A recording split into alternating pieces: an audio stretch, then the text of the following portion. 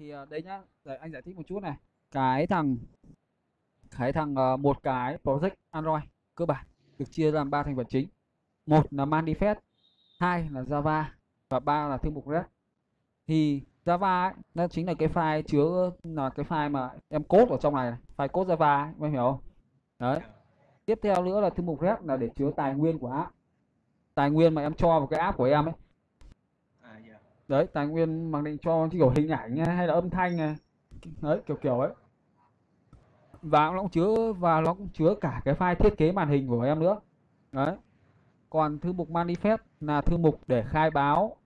Thứ nhất là khai báo xin quyền chủ yếu là khai báo xin quyền cho app này. Khai báo xin quyền thôi mà như kiểu là em cảm tưởng nhá thằng ờ, một cái thằng điện thoại Android ấy, nó như kiểu là một cái chủ nhà.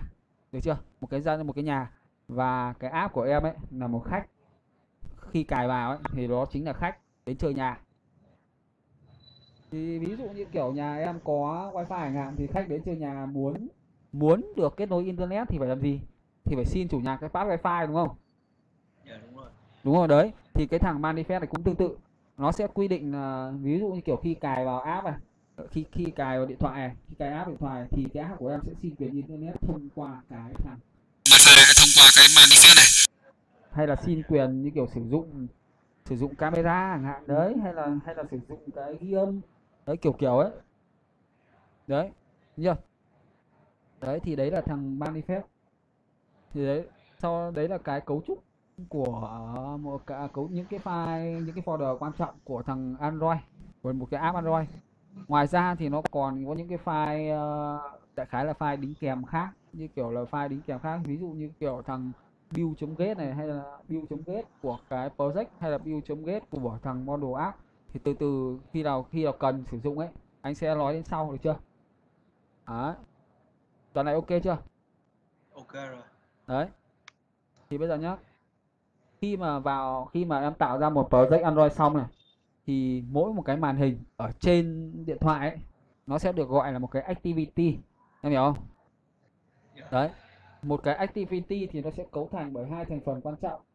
Thứ nhất là một cái file code Java. Đấy, một file code Java. Thì đây như em nhìn thấy thằng này ở đây, nó là tên của nó à. Tên file Java của nó là main activity, được chưa? Nó là cái file mặc định ấy, mặc định mà nó tạo ra cho em ấy. Đấy.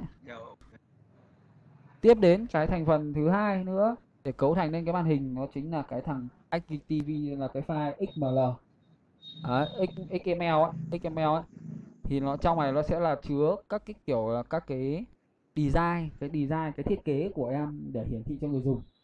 Em hiểu không? Dạ. còn thằng này là thằng chứa các như kiểu là chứa data của cái màn hình đấy. Hiểu chứ? Dạ dạ. Đấy ok. Thì bây giờ nhá đi vào màn